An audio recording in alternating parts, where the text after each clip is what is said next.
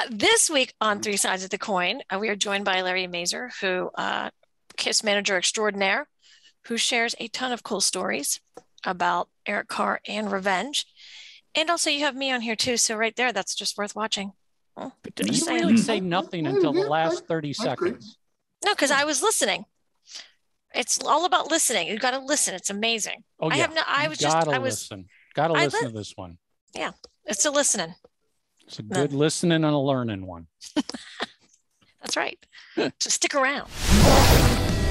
This is Three Sides of the Coin, talking all things Kiss. I want to rock and roll all night. You're listening to Three Sides of the Coin. This week, Three Sides of the Coin. You got all of us, all four of us. Mark, I don't know how we do this with these two two gate crashers showing up every once in a while mm-hmm. whenever they want to. It's like they just come and go. Hey, look, Hey-o. I was working at my desk and the freaking thing rang and I answered it, and here I am. what do you want, man? I don't know. Anyway, let's you know we, we know there's not going to be we know there's not going to be any comments read anymore because Tommy's given up that job. No, that's not true because I have some. You just don't act. You just act like I wouldn't, and that's okay. Give us a comment or two. Real well, quick. yeah, because I was on the show, so why wouldn't I read comments? I was on. Oh, come on. Um, you know, we have we've got a lot of positive comments, and this is the one that we are our latest, which is the Rock Candy magazine issue, where they have the roundtable discussion. But we're we're also taping a little early, so I don't have as many at this point. Uh, but Patty wants to know: Doesn't the Hollywood Casino in Tinley Park hold about twenty six to twenty eight thousand? Uh, I believe the grass section is the largest in the country. I always thought Alpine Valley did. I could be wrong, but I thought that uh, Detroit was even bigger than that. You know, I've been to obviously I've been to both multiple times. I think I think Tinley Park's a little bigger. I don't. Our, I don't. our hill, our hill is a little bit more. Meaning at Pine Knob, it's. I think it's. I don't. I don't think it's as big as Tinley's. Another one too. Um, what's the one in in Cleveland? Blossom Heath. Oh, Blossom. Yeah. That's got a big hill too. That's got a really big hill. I think that I know that hill is bigger than the one in Pine Knob. Star Lake has a big hill. If you're talking about amphitheaters with yeah, yeah, yeah. severe hills, Star Lake has it. Because when yeah. it rains, you slide all the way down the hill. Mm-hmm. And this was this comment is complete and total foreshadowing of the show today. This is DB Threshold. I ch- says check out the Troubadour show from April 25th, 92. That would be a good off the soundboard album, good representation of that lineup. Wow. Ah, wow. We didn't plan that at uh-uh. all, people. Uh-uh. uh-uh. No. But as Tommy that says, it's, great... it's a good segue mm-hmm. yes. into this week's guest who brings up that show specifically. We got Larry Mazer here for at least 90 minutes. I didn't keep track, but you know, he goes way into kind of a little bit of how he got into the Kiss camp and then really spend some time talking revenge, the revenge tour, the revenge album, um, his conditions for managing Kiss. It kind of goes everywhere. We do a little Buckcherry talk, we do some Cinderella talk, we do some music industry talk, some grunge talk, I got to tell you, if you really dig minutia on Kiss history, you got to listen to this because that hot in the shade revenge era, so much history from Kiss, such important eras for Kiss, transitioning for Kiss. So, Larry, so full of stories, so many uh-huh. great stories, such great insight. I, I can't. Here, he talks about Eric Carr. He talks about what happened with Eric Carr at the end. We didn't ask him. He brings it up all on his own because he wanted to clear the air. So you got to let this roll because you don't want to miss this. Want to get your official three sides of the coin logo and shocker tee? Now you can. We ship worldwide. Get yours online at shop.threesidesofthecoin.com. Hey, three sides of the coin world. We are really honored to have returning, and I should have done my um, show prep. I can't even remember when you were last on, Larry. It was probably a good six, seven, eight years ago. I don't know. Yeah, it was a you- while. It was a while ago. I don't think I Mark think it was, was even. pre me. Yeah, It was pre Mark joining the show here, but we're we're so happy to have Larry Mazer join us. Um, and and for those of you who paid attention to the show just prior to this one, which was the Rock Candy Roundtable, Larry sat in on that and uh, dropped some kernels that had Mark and I just like all giddy as Kiss fans. real, real quick, Larry, you don't know this, but after the show, Mike and I were talking uh, after we recorded uh, the show with you at the round table. I'm like, hey, you got to get that guy on. I could sit and listen to him talk about Kiss for fucking days. so that was that was uh, really cool. Your uh, So- your participation was incredible. was so um I love larry you went so you were brought in as you mentioned in the rock candy roundtable you were brought in in the hot in the shade era but after Right. hot in the shade was recorded so you were basically Right. there for the tour and then you were there for revenge um this episode i really want to focus on the revenge era that you were there for but give us just a little bit of background how did you end up working with Kiss? So Kiss was prior to you, were they was that self-managed or was that when Jess Hilsen was managing? them? Well, okay. So after Bill Aucoin, uh, they went with their business managers, Glickman and Marks, yep. for a number of years until there was some financial funky business there. And then they hired Danny Goldberg, uh, who at that point did not yet have Gold Mountain Management, who was just had Gold Mountain Records and a few other things. They hired and they, had known him from the past, and they hired him as quote a consultant for a year or two. I think he did the um, Animalize, uh, and I think he I don't know if he I think he was there for Smashes Thrashes. I don't think he was there for um, Crazy Nights, but anyway, he was prior to me. And what happened was is that I was managing Cinderella, who was also on Mercury Records. Uh, and the first record had done 3 million. The second record had come out in August of 88 and had already been platinum on its way again to another 3 million. And in October of 89, I got a call together from Gene and Paul saying that uh, they were looking for somebody to get involved with their new project, Hot in the Shade. Would I be interested? At that point, they were working mainly out of New York. They had a thing called the Kiss Company Yep. on uh, Fifth Avenue. Um, and I said, Yeah, I can come up tomorrow and let's talk about it. So I took a train up from Philly, where I live. And um, at that meeting was Gene Paul and this guy named Jess Hilsen, who they introduced as the guy sort of like the general manager of the Kiss Company. And I later found out that he was Paul's psychiatrist. So those were the three guys at the meeting. And uh, as I said in uh, in my interview in Rock Candy, that basically, you know, they asked for my point of view, and I was very adamant about certain things. The most thing being that I had felt that since the makeup had come off, and Gene had developed other interests such as acting in horrible movies and uh, starting his own label, Simmons Records, and managing Liza Minnelli, that Kiss had become Paul Stanley's band. Uh, they had not had any singles released in the non makeup years that Paul didn't sing lead on. And that I always felt, as a longtime fan who had been a fan since the very first record in 1974, uh, that what made Kiss special was the positioning of the two of them as co lead singers. So I said, the first thing we have to do is you have to get back into Kiss. Uh, you have to get rid of Simmons Records. You got to stop managing Liza Minnelli.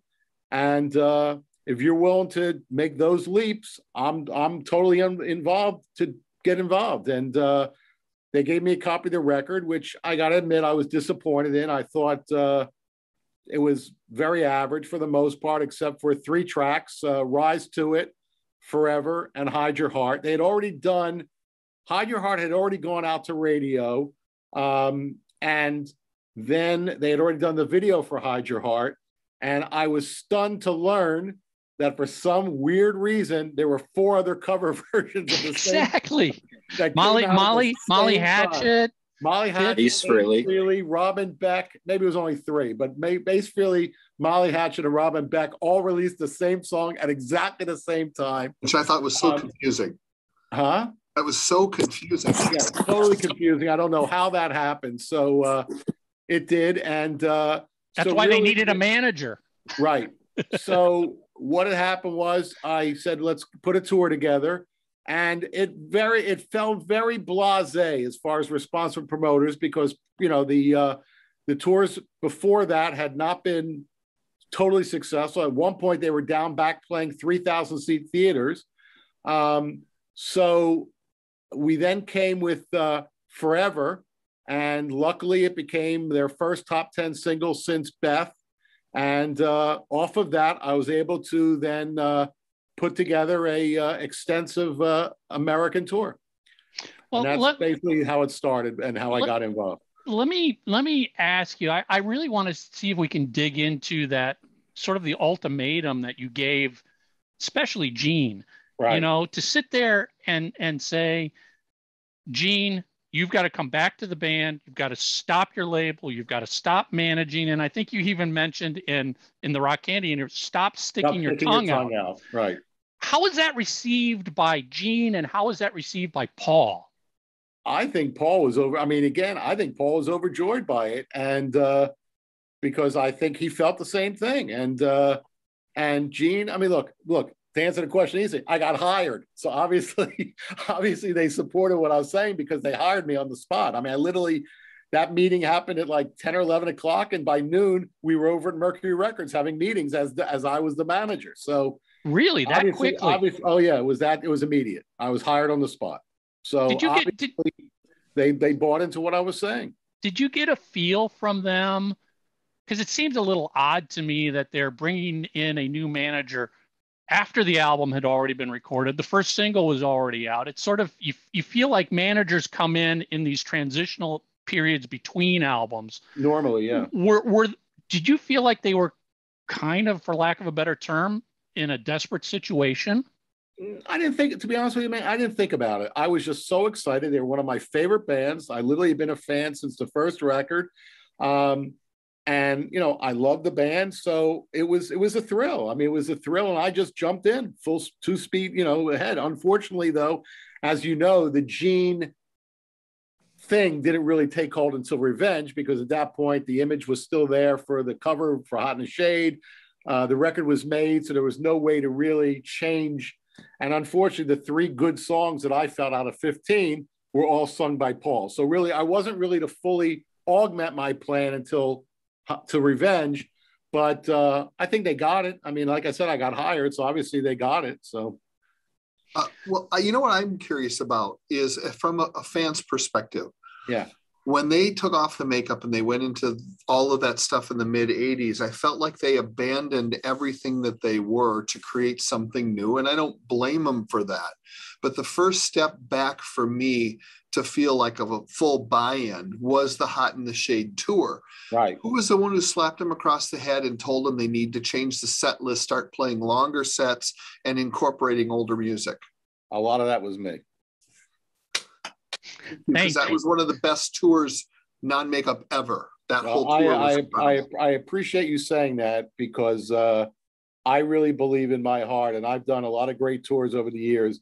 But to my grave, I will say that is the greatest show I ever was involved with. I mean, as good as good as the Cinderella Long Cold Winter Tour, which I think is another That was amazing.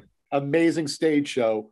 But the Hot in the Shade tour, every element of that tour was just magnificent from me. I mean, just top to bottom from the beginning right to the. Uh, I mean, I mean, one thing I will tell you, and I think I told this in some interviews, but one thing I was adamant about was not revealing the kiss sign, which was the standard. That was rule number one since 1974. Was the centerpiece of the stage is the kiss sign, and I said we've got this incredible sphinx let's use that as the centerpiece and if you remember the show i mean it really the kiss side did not come out to the, the last song of the set the sphinx exploded came down and then when they came back for the encore and started i think it was uh i want you I Want You. it was- Because I want you. I want you is that when it, you know, they start off, we had a disco mirror ball from the ceiling.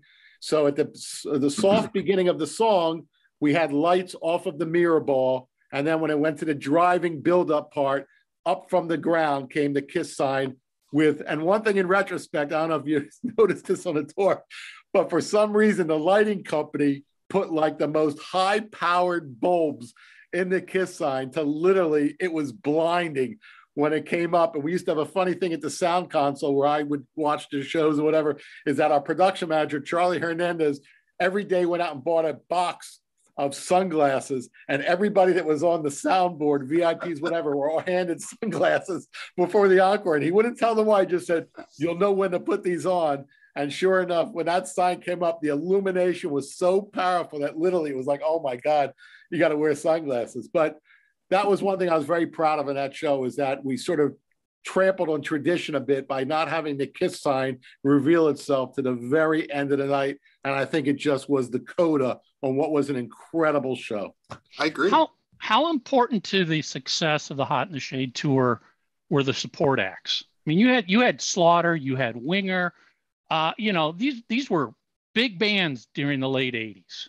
Well, I had given Winger their first tour. If you remember on the Long Cold Winter tour, the support acts were Winger and the Bullet Boys, who were both, I timed it perfectly. Both acts went platinum on the Cinderella tour. And I got, I mean, I used to manage Rod Morgenstein and it was Steve Morse band back in the 80s. So he and I were very close friends. And they asked me to manage them when they were called Sahara, before they were called Winger. And they sent me a demo with a version of Purple Haze, which they ended up putting on their first record. But to me, I just listened to any band covering Jimi Hendrix. I said, nah. So I passed on managing them, and then they became Winger, and uh, and I put them on the Cinderella tour because their first single, um, 17, became a hit. So I put them on that, and then they they carried on with a successful second record. So it was obvious to give them that tour. And then I had used Slaughter, I think, on the Cinderella European tour. So again, they were just breaking. So I put them on. I mean, again, every time you put a package together, you try and find.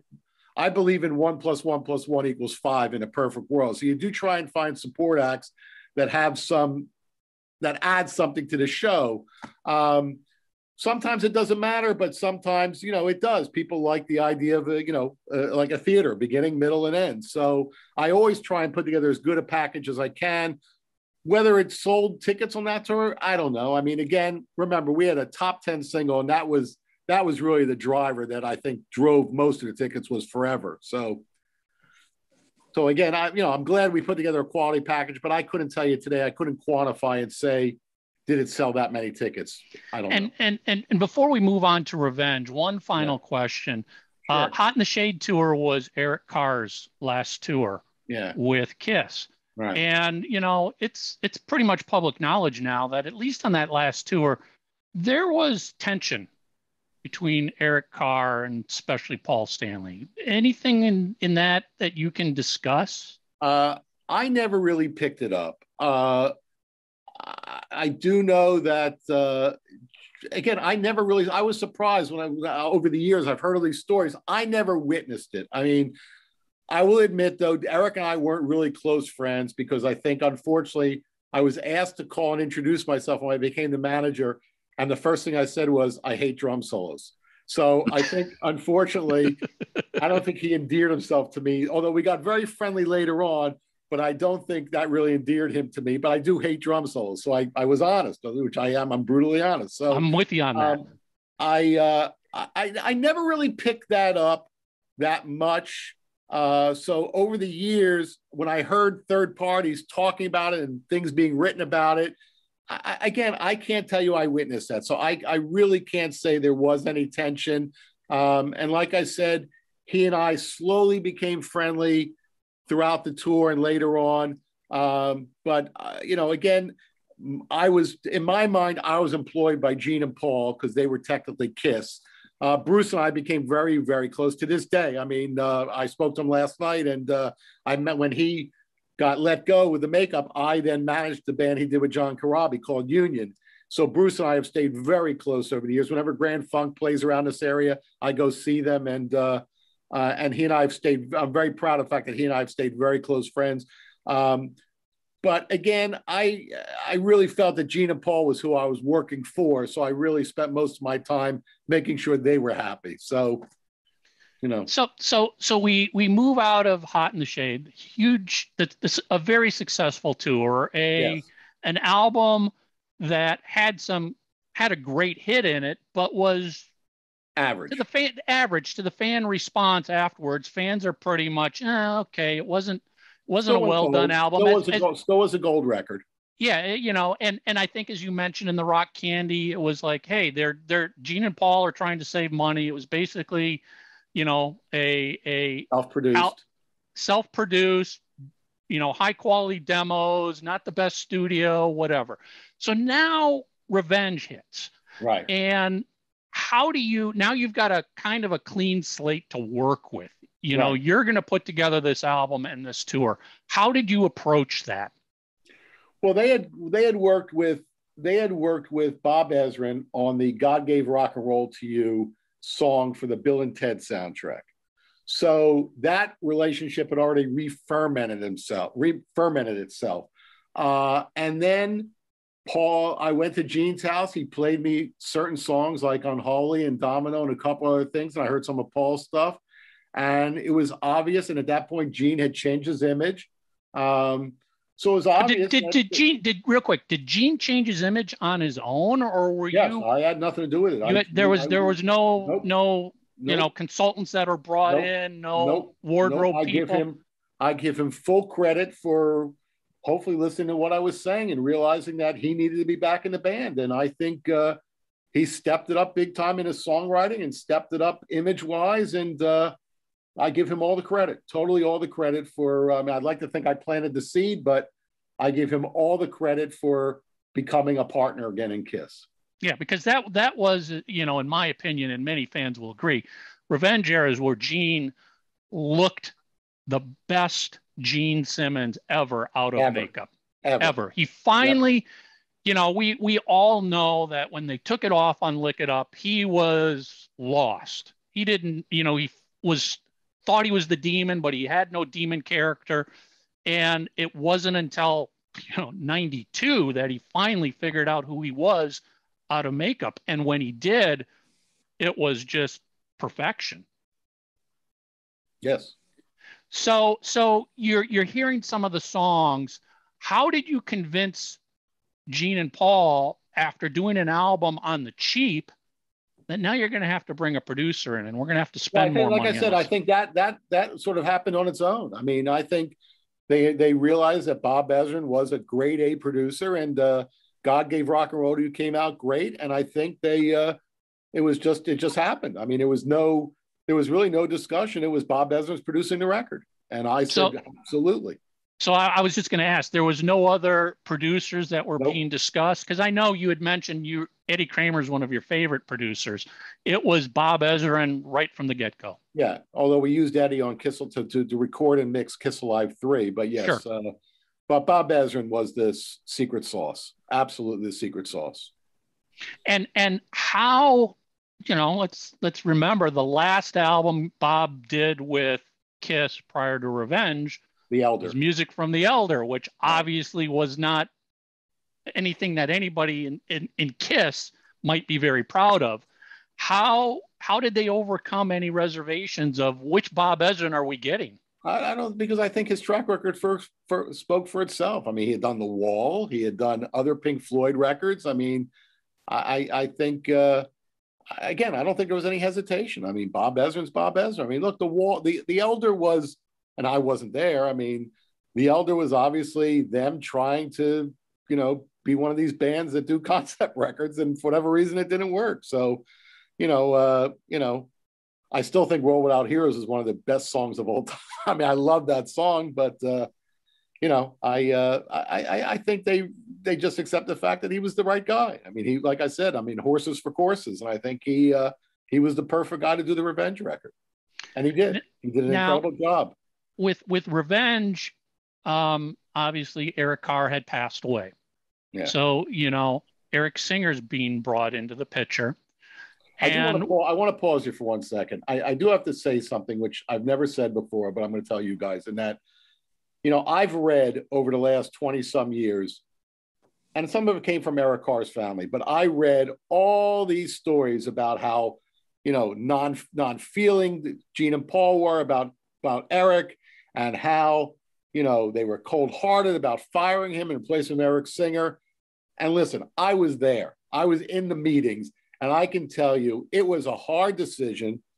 But the fact of the matter is, he was not going to recover. He had cancer of the heart. I mean, it was, and it went. To, I think it went to his brain, but he, he was not going to. He was not going to survive. The band had to go on, and you know, and unfortunately, the guys were in a position where they had to make a change. It was not cold hearted. It was not non feeling. A lot of people have held grudges against them for many years. And I've read many, many interviews where they've gotten slammed and it boils my blood. And I've wanted to reply many, many times and I haven't. So I'm doing it with you guys that all the criticism of and Paul about the handling of the change from Eric Carr to Eric Singer is bullshit. They were totally respectful. They were crushed by his death. I went to the funeral with them. They were totally devastated by his death. They were, he was a brother to them but unfortunately he had a disease that he was not going to recover from and the band had to keep moving forward and that's the end of the story i mean well, anybody that says anything negative about them in regards to Eric Carr doesn't know what the fuck they're talking about. So. Well, and, and let's face it, Larry, in the in the, the time we live in now, it's very easy for someone to just make shit up or make the assumption that something. I mean, every single time they do something, there's always somebody coming online saying, "Oh, they did that on purpose," or they're trying to screw you out of this or that. I, I just think it's that's just human nature now. You can't get away from it. No, you can't. You can't. It's terrible. But I just had to set the record straight well, with you guys that, and like I said, it's just every time I read it, I still to this day because you know, they just put out a my my old friend David Snowden is doing an Eric Carr movie now, which they asked yeah. me to be in, and I re- I said I wasn't going to, and I told the story why because I said I hated drum solos and I didn't think I was the right guy to be interviewed for an Eric Carr movie. But even David Snowden, I said the same thing. I said, David, I'm telling you right now, if anybody criticizes Gene and Paul for that switchover, it's bullshit because it killed them to have to do it, but they had no other choice. The guy was not going to live, unfortunately. Larry, it, you know, uh, speaking for for everybody here, I appreciate you stepping up and saying that because honestly, in in the 10 years we've been doing this, that is probably the number one most requested question and topic fans ask us to talk about. They're like, yep. "Can you guys talk about Eric Carr's passing and how he was treated by Kiss?" And our response is always, "How can we talk about it? We were not there. We have no idea what happened all you have right now is rumors and innuendos by everybody who was around it until people like Gene and Paul, which unfortunately they could say the truth, but people will still refuse to believe them. But somebody like you who says, I was there and this is the truth, you know, thank you for for doing that because this is something that needs to be said, but we're not the ones to say it. You know, we're just three fans. We were we weren't there. We don't know. I was there. So so back to where I was going. So Eric Carr okay. passes. Right. Eric Singer's brought in. And one of the things that as a fan I noticed right away, Eric Singer kept his blonde hair. Yes. That was, you know, to a lot of bands, that's not a big deal. To Kiss, that was like, oh my God, that's huge. He's not being asked to course, dye his hair. Of course, of course, it didn't stay blonde when he became part of the makeup band, but yes, during that period of time, he stayed blonde. So, Eric so Singer, I, I love Eric Singer. I absolutely adore Eric Singer. Uh, I tried to manage Badlands, and uh, Eric wanted me to, and unfortunately, Ray Gillen decided to go with Paul O'Neill. But I mean, I love Eric Singer. He's a hoot. Everything out of his mouth is hilarious, and uh, if you watch the Kiss Confidential DVD that I did, uh, the scenes with him and Gene are just hilarious in there. So I mean, it's uh, I mean, he really he really grounded them a lot because he, you know, he was able like me to be, you know, stop the bullshit, you know, blah blah blah blah blah blah blah. So you know, it was it was it was, it was I loved the fact when he was in the band. I really enjoyed him being in there. So. Uh, real quick, I'm going to add in um, Lisa, our last co-host, who was going to be a little late here, so she'll just join us in conversation. God, you have a lot of And- people on this. Oh well, you know, we have we have we I call Lisa. three, I thought it's three sides of the coin. It was three sides. Le- Lisa Lisa comes and goes to fill in. Sometimes it's only two of us. Lisa, we're already recording. I'm sorry. So, so Lisa, meet Larry. We Larry, have to start. Are we Lisa- going to start again from the beginning? I no, not at all. Not at all. Lisa gets to lose out on all that juicy. What did I Um, miss? I missed he good ju- he- stuff, didn't I? Oh yeah, Larry Oh. just explained what happened with Eric Carr's passing. Oh, You're gonna have to watch the show next week. I week. guess I'm gonna have That's to watch the show. That's right. No, Um, repeat, no repeats. So so Larry, real quick question. I mean, what was was there a discussion of like, you know what? We don't need to make Eric dye his hair. Was that never a thought? I, I, mean, I never, I, I don't know any. There was never a conversation I was involved with about hair color. So no. I mean, it's it's little, you know, it's little minutia things like this that Kiss fans just geek out on because again, that that was that was one of those things where I saw the first photo with Eric in the band and I'm like, my God, he's got blonde hair. That's I must just tell so you, different. I must tell you, it's that was 1992. This is 2022. So 30 years later, that's the first time it's ever been mentioned to me about a blonde guy being in a band. So I, I, it just. So you, you You're- guys just you guys just scooped me on one because I You're never, you're you're ever- you're you're you're I you're never ever heard that. I've never ever heard that one about hey, there's a blonde in the band. I so that's that's a good Yep, one for me. Yep, So you're I you're thank dealing you with for that. I thank you for scooping me on that one. you're So, dealing with Kiss geeks who, you know, as Kiss okay. fans, we we pay attention, especially when it came out. We're like, this is so different. This is not the same. Um, so Well, I had I had something I wanted to before I forget. Larry, can you think about going back in time with Revenge and the music climate at that time because things had shifted. sure. You started to see Nirvana and all these other bands come up.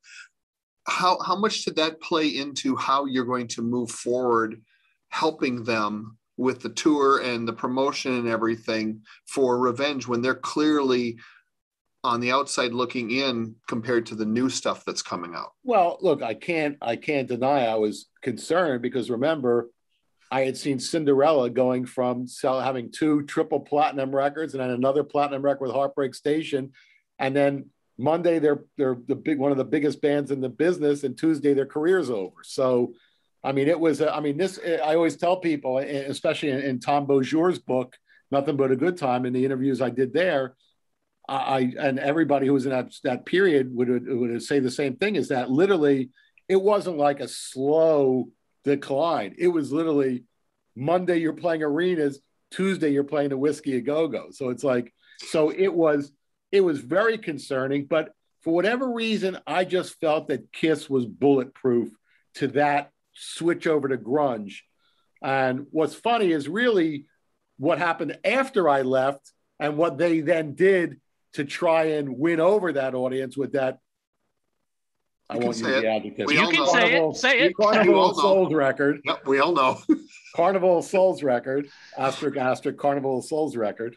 Um, and so, again, that was a big misstep as far as I'm concerned, but I wasn't there. But uh, so I, I just felt like, uh, again, coming off a Hot in the Shade, which I felt was an average record that went gold, had a sub- phenomenal tour, top 10 single. When I heard these 10 songs or whatever it was for on Revenge, I was convinced they were bulletproof. I just felt like, which we'll get into the song selection, I guess, in a minute, but I just felt like, oh, you know, we're, we're, they're not going to fall prey like Cinderella, Motley Crue, Poison, whatever, to the to the grunge thing. I felt like all speed ahead, you know. So Well, and before you go there, Larry, one other question follow up is, is can you walk us through a little bit? Like I'm a huge Cinderella fan.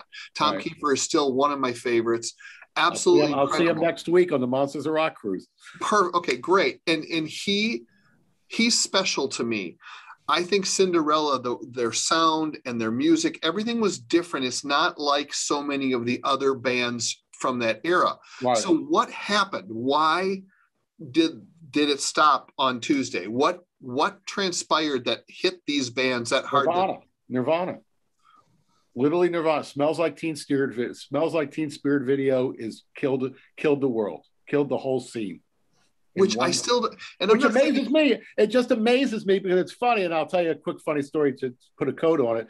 But it, it's funny because, I mean, I've got 10,000 records in my house. I mean, I get a box. I got the Jethro Tull record sent yesterday. I've got the new Alan Parsons live album coming next week.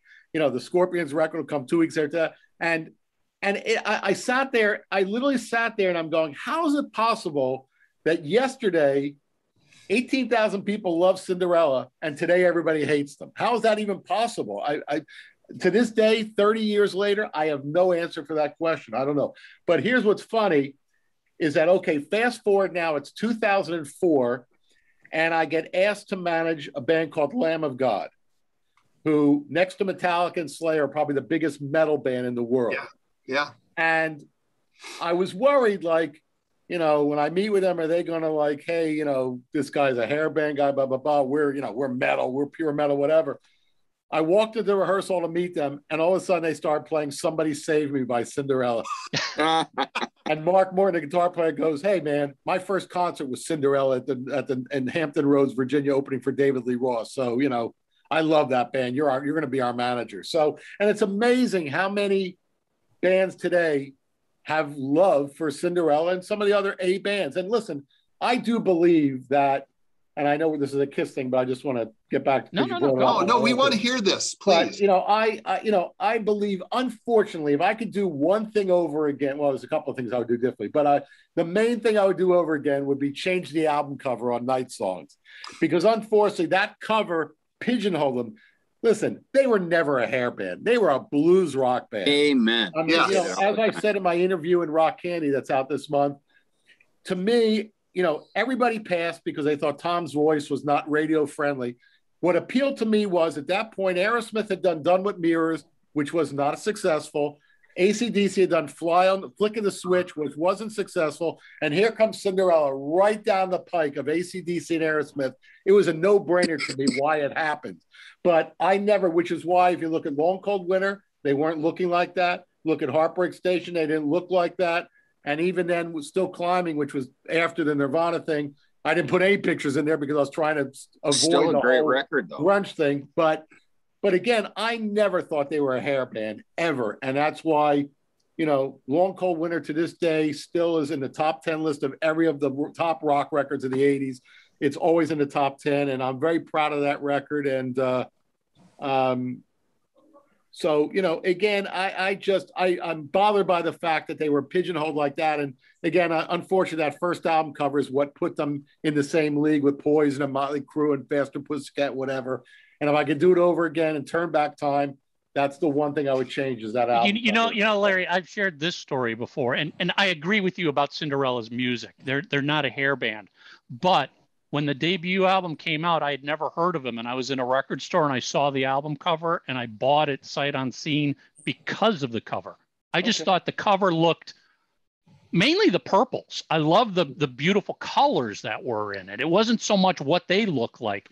So I bought it sight unseen, fell in love with it, saw them open for David Lee Roth, thought it was just like mind blowing. Um, but I was, you know, that sort of leads into. What's funny, what, just as, as a fun thing. So Mark Weiss shot that album cover, and to tie it all together, Mark Weiss did the Crazy Nights album cover for Kiss. So there you go. There's a little so, uh, six degrees of separation for you. So nice. back to what you know, what happened that changed overnight for bands like Cinderella from right. Monday to a Tuesday, and is it? Do you think maybe it was more of the visuals of all these bands and not so much the music? Yeah, hundred percent, hundred percent. I mean, look, you had Eddie Vedder come out with this whole anti-star rap, and Chris Cornell, and obviously Kurt Cobain. They were not into any image whatsoever, which is what I think is beginning the the end of the rock music era. Uh, in, in that will be gone forever, unfortunately. Um, but uh, yeah, absolutely. I think it was revolt against that image thing. And but you know, all I know is every one of those bands went platinum. Every one of those bands played arenas. And how many rock bands since then have elevated to the level of platinum and selling out arenas? Not many. So no, but the but but know. the thing that really kind of I don't get is okay. So if I like Save Me, I'm just not going to stop liking the song because the Nirvana song comes out. So did they literally lose fans that are like us who are just like, oh, I'm done because yeah, they don't look yeah. cool anymore? Yeah, yeah. I I think. I think it don't was a why. reaction against the scene, is what Yeah, I was think just- it was. Yeah, I think it was just a total reaction against the scene. I just think for whatever reason, this anti-star cred scene sort of, you know, made fun of that scene. I don't know. I mean, it boggles me to this day. I mean, I was, I mean, look, I mean, my bank account definitely dwindled because of it. So like, you know, it affected Yeah. me in many ways. And uh I was stunned. I was I was absolutely stunned that it was over like like over like overnight. I mean, literally the scene was from 86 to 91 and that was it and that that whole period ended in five years it was uh Larry, really Sad. quick, I, I I just want to go to modern day before we go back and talk about something we you- we mentioned earlier. You know, you were talking about Buckcherry. I have that same feeling with Buckcherry. I don't know why they're not huge. I love every one of their Oh God, records. exactly. I I just don't get. well if you how- read that well, I do article if you read if you read the article rock candy i come right out and say that to me and i'm biased a little because i'm the manager i think josh Todd is the only rock star in the music business and i think that guy the, is the epitome of a rock star absolutely and those the rock star. songs are so freaking And, then, and what kill listen, what kills me is this record. This is my second record with them. Um, War Paint was the first, and now this one. This record, bar none, is the best record they've made of their career. I don't know if you guys Hellbound? Hellbound record. It is Hellbound? song Oh, for song the best record of the career. They co-wrote and produced with Marti Frederiksen, who had done Sorry and done the Black Butterfly, but he's a top songwriter. The record is beginning to end perfect. Yep. And we're sitting here today, and worldwide, it has sold 17,000 copies. Which is Worldwide. breaks it- my And heart. it blows, it blows my mind. I mean, we the album debuted at number one in the UK on the rock chart. We had a uh, the song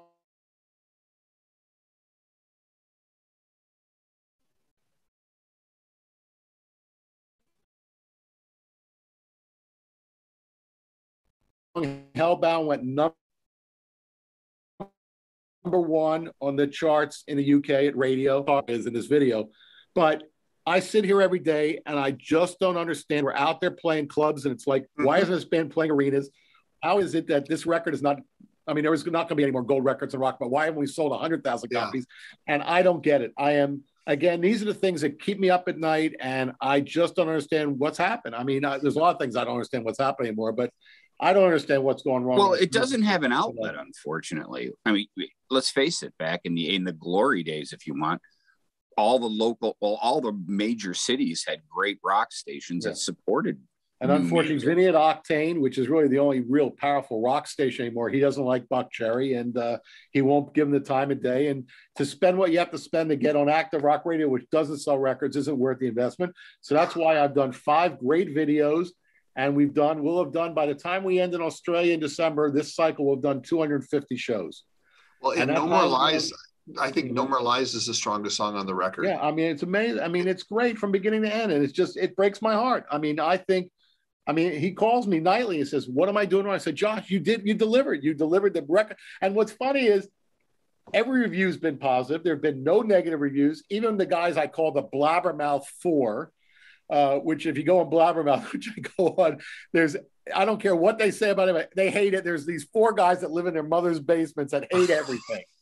And even they said this is the best Buckcherry record ever. And it's like, but for some reason, I'm sitting there with literally 8,000 sold in the US, 17,000 sold, 18,000 sold worldwide, and it breaks blows my my heart. Well, I bought two. I, I had to buy the Japanese one with the bonus tunes too. There you so. go. But it breaks like- my heart. It really, I mean, the whole business right now breaks my heart. That's a whole other. That's a whole five-hour nother. We could discussion. do, we could do yeah, I I another, just, another being show. that you work with them, I just wanted to touch base. so. And and, and Uh, Tommy and I both on this show have, have preached to you know the people who watch our show. Go out and get that re- all not not just that record, but all their records. I mean, They're- Buckcherry yeah, does not rock and roll. Yeah, anytime, is- anytime they're near you, guy. I don't know where all you are based, but whenever they're near, you see a show, call me and I'll put you on the list. So I am So on- so so Larry, Larry bef- Who's before the kid before the Kiss fans, go ahead, Tommy. Dude, I just want to say one last. I know. I just want to say one last thing. I actually know most of them, and I'm always sending photos to Stevie because I think he can't get enough pictures of himself. So Well, he posts pictures of himself every single day on oh, Facebook. So day long. are they getting? Are they coming from you? Is that where these pictures are coming Yeah. from? No, they are coming from me because they always set me up, and I go out and shoot the show. Oh, okay. Oh yeah, absolutely. And I just, I, I I can't say enough good about these guys. And so, for any of you that are listening, I know this is a Kiss podcast. Go out and get Hellbound. Go out and see these guys. They played in a freaking barn last summer that you usually go to see county fairs where they judge cows. They'll play anywhere and they are unbelievable. Well, the one thing I'm excited about is that finally, after begging, begging, begging, since I've been managing now five years, we finally have got a great opportunity that in uh, March to April, we're doing the Alice Cooper tour. Yep. which Saw I'm that. very Yes. excited Congrats. about. That's big. Very, very excited about that. That finally there's a chance for another audience to see this guy and hopefully become fans. And then hopefully that'll lead into something else. I mean, you know, I- again, I want to put him with, I want to get him as many opening slots as possible. We did a couple It'd shows be with a- Aerosmith a few years ago that went great. And uh, again, I, I think this guy's the last rock star. I really do. And that's the last I'll say. Move Why on. not put them out with like uh, Blacktop Mojo and uh, Black? Well, Blacktop Mojo supporting where when you see the press release on February 16th with the 54321 video, you'll see 19 shows April 29th through May 20 with Blacktop Mojo direct support. Wonderful, because that to me that and then the only one missing would be Blackberry Smoke. Put all three of those together, it would be a hell of a tour. Maybe Yeah. Cheap Trick, I don't know. Okay. So so so now that we've lost all of our Kiss listeners, let's go back to Kiss on Oh, the top. five of us are here. The five of us are here. This We're having exactly. We don't having a good care. We don't care. After ten Um, years, so- I want so to back- talk about this. Well, no, to the can also you can edit this. You can edit out all the Buckcherry stuff. if Ah, you no, Oh, we no. give them Oh, no. everything. We love it. want. So back to the Revenge album. Okay. And one of the other things that we we need to ask you about and kind of dig into was the return, in some sense, of Vinnie Vincent. You know, You know, how did how did that develop? Okay. Well, I, I'm going to be very short to the point because I really don't know. Listen, when bands, oh, and this has been my, I don't like the recording studio. I find it boring. Uh, I I don't really appreciate just listening to tracks and then listen to over. I mean, I've always believed that what I like to go is when they start mixing and I can hear the whole thing. I don't really enjoy it. So, literally, I went to the studio once, and that was to talk about the cover art. So I only went to the studio one time, uh, and also I had hired a publicist, um, Mitch Schneider, and that was when I he I was in LA and he came to meet the band. So I only went to the studio once. And when I walked in, sitting in a corner was this real in the corner was this real nebbishy looking guy. I don't know who it was. He was sitting there with a notebook like this in the corner. And it wasn't until later on, almost when I was leaving, when I said, Oh, by the way, who is that guy? And somebody said, Oh, that was Vinnie Vincent. And he'd already left by that point. But so I got to be honest with you. I, uh, unfortunately, that's one gap I can't fill in for you guys because I had nothing to do with it. I don't know anything about how he got back in the writing process or whatever. And like I said, uh, pretty much I only saw him in a corner once and that was it. So unfortunately, on that one, I'm not good for information. Now, after the fact, did that help in marketing and promoting the album No, at all? Did No, you take advantage of the use it at fact that Vinny was a no, We didn't use it at all. We didn't use it at all. To me, what was the marketing point was Gene Simmons. That was my whole focus was Gene Simmons being back in Kiss. So so let's focus on that. So Okay. Gene Simmons is back in Right. Kiss. Revenge is an album that really spotlights everything about Gene. Great Right. songs, lead Yep. vocal. Broken microphones. He had this last week. It's a new microphone. Really? Yeah. Oh, Michael. You hear me? Annie. Yeah, now we There we go. There we go. Um, this microphone just likes to mute itself for whatever Right. reason. Um, so And we must How- give how- credit. Listen, we must also give credit to Bruce Kulick, who co-wrote a number of those oh songs. oh oh oh God, yes, Bruce really came to Bruce, shine. Bruce to me, Bruce to me was a major, major factor in how good a lot of those songs turned out. So, how was Paul's reception to Revenge really putting Gene in the front spotlight? Okay, well, it's done. I've told this story many times. So I heard the record, and right away, Unholy just blew my mind. And I said, we're going with that first. And I could sense it was never talked about, but I could sense Paul was not thrilled by it. But I was adamant. I was not, there was no discussion as far as I was concerned that Unholy was going to be first. And we did it, and we did an amazing video. which totally, I mean, you want to have the demon come back? There it is in the unholy video, as far as I'm concerned. Yep. And everybody at Mercury was thrilled to death. They were they were aggressive in working it, and uh, they saw what I saw that this is what was needed if we want to compete with this whole new thing of grunge and the the birth of the early birth of heavy metal with Metallica and whatever. This is what we have to do to compete. So it was full speed ahead and there was no discussion. That's what we were doing. End of story. And that's what we did. Now, fast forward, and maybe I'm anticipating your next question, but fast forward to it's time for single number two. And I said, okay, we're going with Domino because I want to just drive this train through the tunnel. That it's got to be Domino. We've got to make a statement. Gene Simmons is back. And I was at home one night and the phone rang, and Gene said, We can't. And I said, Why? And he said, Because Paul will be unhappy. And I said, So I manage Kiss. I was hired to break this band and break this record. He goes, You have to understand, I've got to, he's my partner. I've got to keep the peace. I've got to like make sure everybody's happy. We can't do it. And I fought some more, fought some more, but at the end of the day, he was he was adamant that we couldn't do it. So we went with I Just Wanna as the follow-up single, which was okay, but the album ended up not going platinum. And I to this day, and I've said it in books, and I even wrote Gene an email because uh, when they played Atlantic City, I wanted to go to the show. And unfortunately, because of COVID, they couldn't see anybody. But I wrote him a note and I said, I must tell you, 30 years later, I regret to this day that I gave in to you on not going with with with Domino second because I'm convinced if we had done that, that album would have absolutely been a platinum record. And you know, Even that, the radio picked we went with a third. We went with a third, but it wasn't the same. The local well, as, as, as, we know, time, timing is so important Everything. in, in the yep. success of music. Yeah. Timing is all. Um, is that that dynamic that you just talked about where Gene said, I can't do this, I've got to keep Paul happy?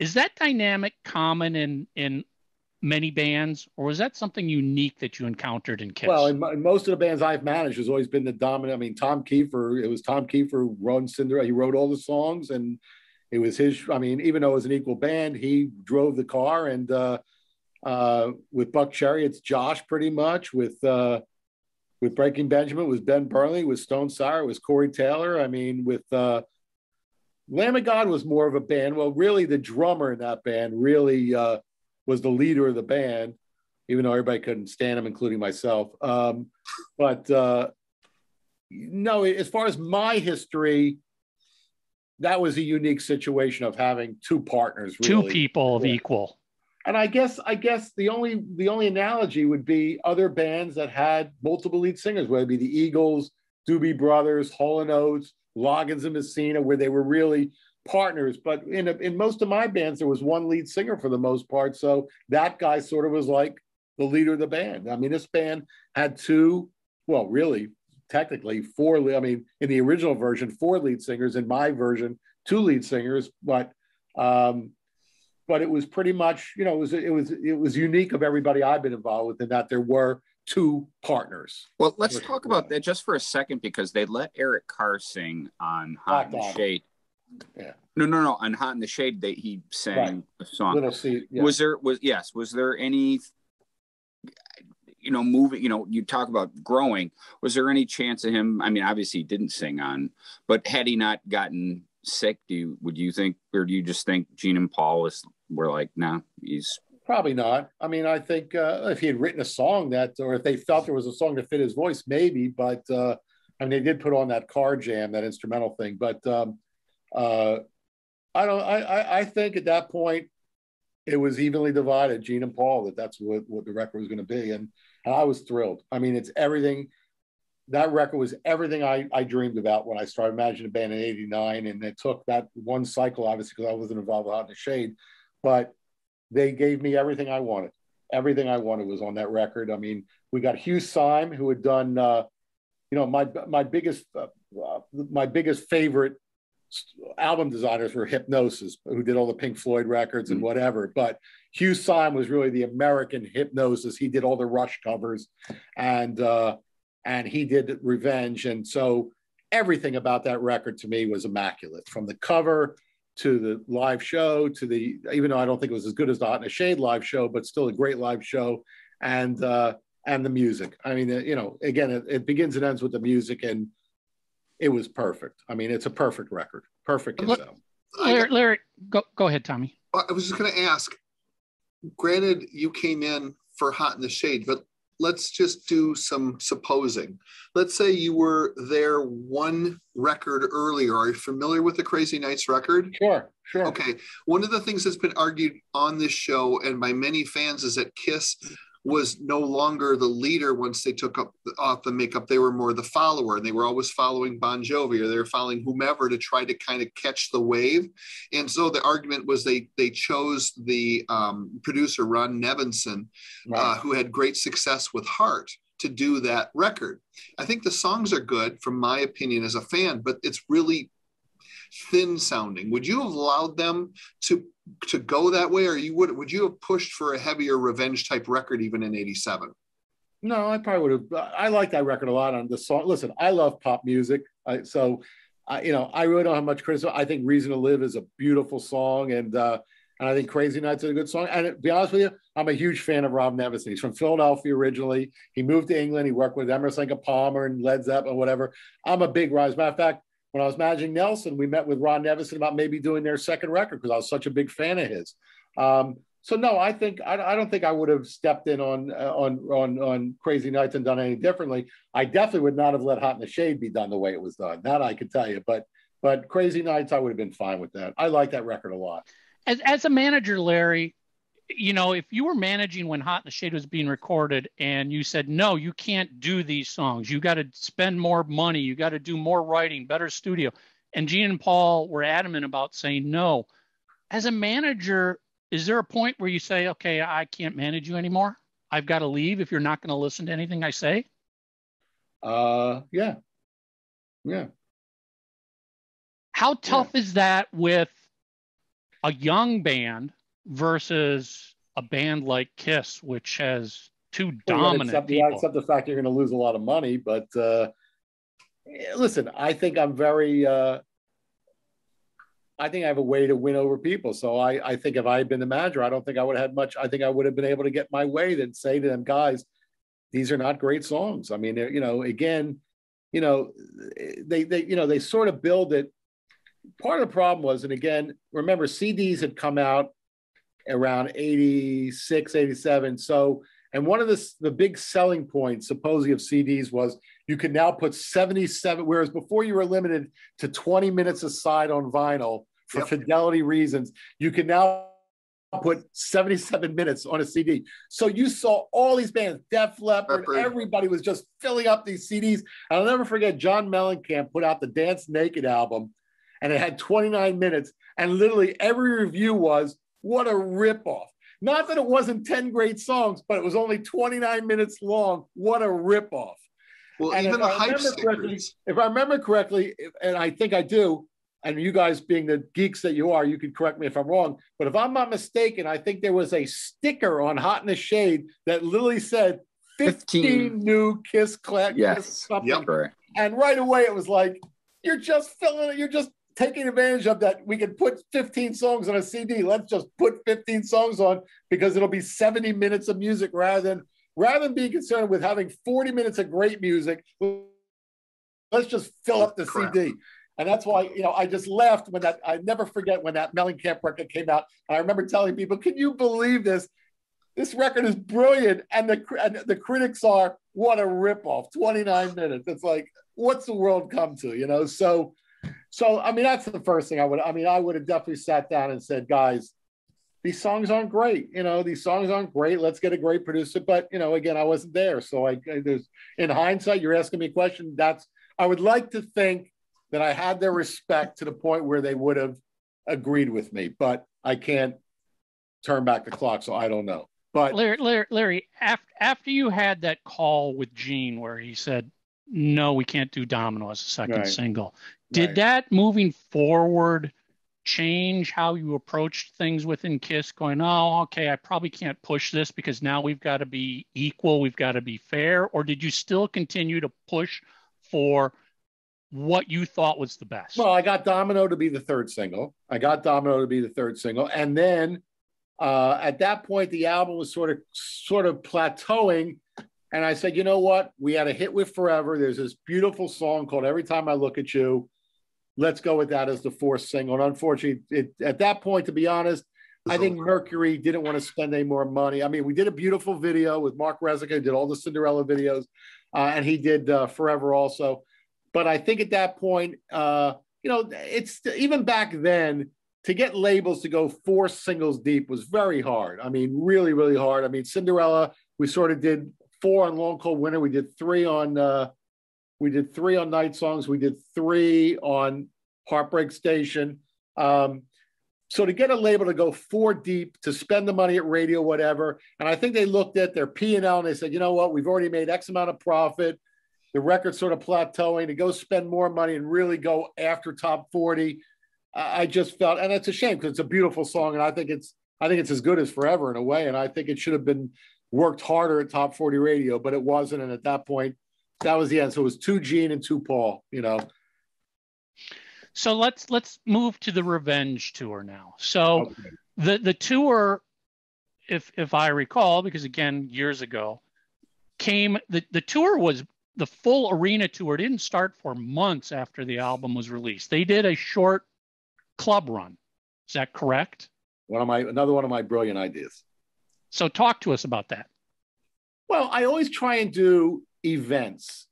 So what happened was to set up uh, to set up there's two things well to it's going backwards for, forwards to go backwards so like for example when we put out the the uh, kiss confidential dvd well at that point video cassette there was no dvd you know i had them do signing parties all around the country so we went into like the amphitheater in dallas texas and had them sit at a table and lines down the block to get their autograph and then we did the Ritz in New York and whatever.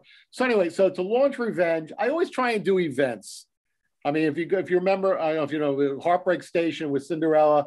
I did a, a party in New Orleans, which cost a quarter of a million dollars, which I'm, people still talk about to this day as the greatest launch party ever that a record company put on for bands.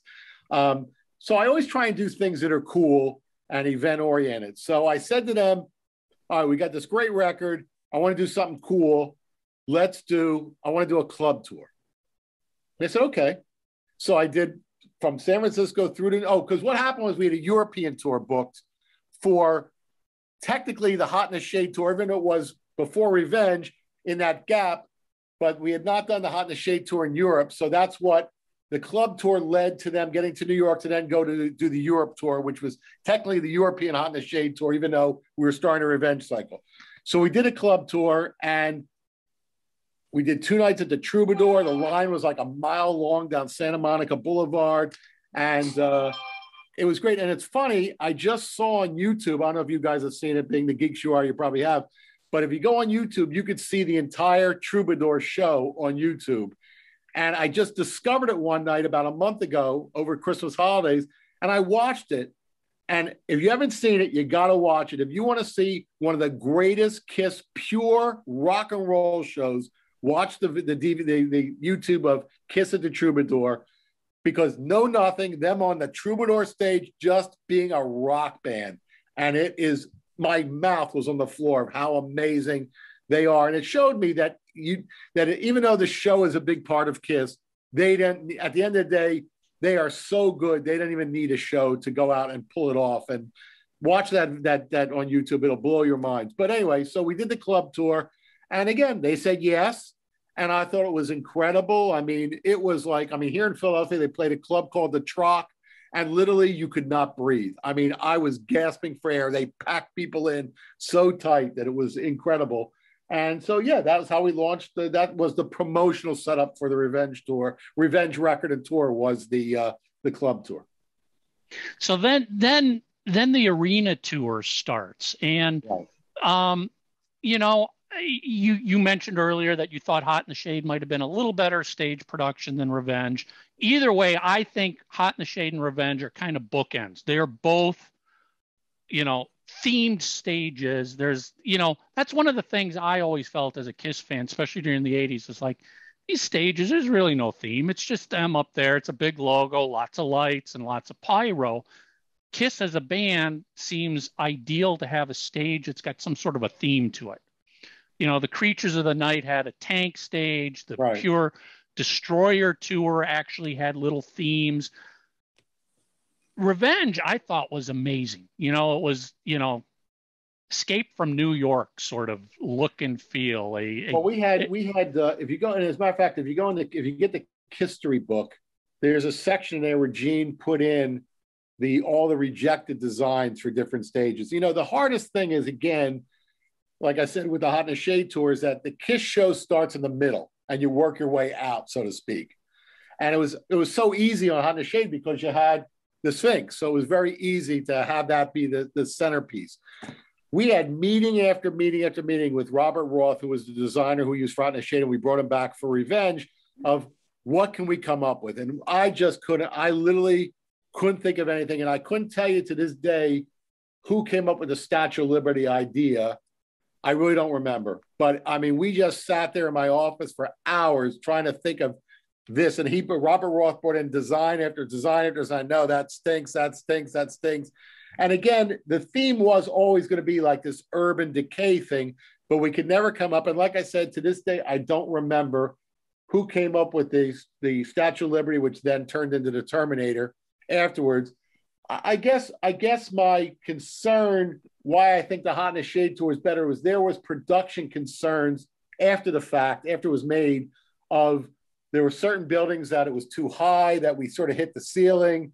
There were a couple shows where the explosives didn't work right and the the transition from the Statue of Liberty to the Terminator didn't happen the way they were supposed to, and certain pieces didn't fall off. That was whatever. So again, I, I don't know. It just I got to be honest with you. I didn't enjoy the tour as much as I enjoyed the Hot in the Shade tour, just as far as the spectacle of it.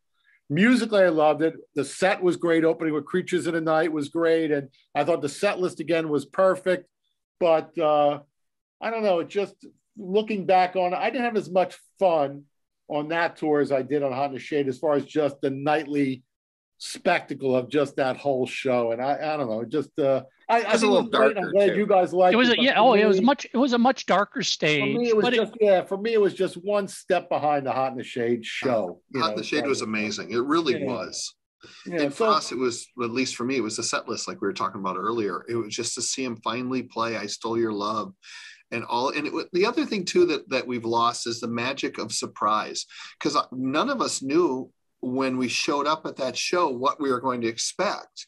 Now y- you can't get away from it. It- and of course, of course, I'm sure you all enjoyed the strippers during Take It Off. Well, I, you know, I was going to ask you about that. So, you know, what what what drove that decision of you know what? Let's get strippers on stage. I mean, all of a sudden, Kiss is trying to be a much tougher, dirtier band. I'm bringing strippers on stage all of a sudden.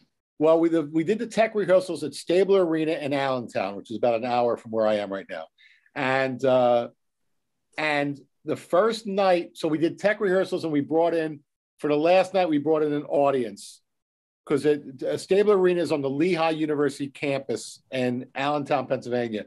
So we opened up to students, whoever wanted to come, small audience. And Paul, I think, had this idea of a stripper. And it turned out that the production manager of the show, his girlfriend was a stripper. And he said, Hey, do you think you're, you know, we were talking about having for Take It Off about this, having this strip or whatever. And his, the production, I said, Well, for the arena, said, Well, my girlfriend's a stripper. I'll have her do it. So she came, she never heard the song. She just went on at the, when they pointed to her, she went on and danced. And then it became this thing of, all right, so every day, uh, the production manager, and for some reason, I'm drawing a blank on his name and it's killing me because he now does Ari for the last 10 years, he's done REO Speedwagon. And for the life of me, I'm drawing a blank on his name. But every day he would have to call strip joints in that town, have them send over 20 or whatever strippers. And Gene and Paul would go in the dressing room and sort of pick, okay, you four would be, you know, it was a contest of what four would become the strippers of that night. And if you remember when we put out the, the home video of Kiss Confidential, we actually released a clip of Take It Off that we put out as a standalone video along with I Love It Loud uh, of, uh, you know, as sort of like the single from that home video that showed all the strippers over the whole, we filmed the entire tour of the strippers stripping. So, you know.